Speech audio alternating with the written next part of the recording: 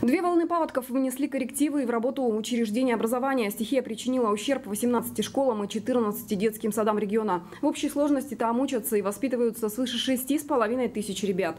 Не все 1 сентября смогут вернуться в свои образовательные учреждения. Из 32 пострадавших соцобъектов начнут работать только 25. Детей из остальных школ и садиков распределят по другим учреждениям. Чтобы доставлять ребят до места, потребуются автобусы. Их планируют приобрести.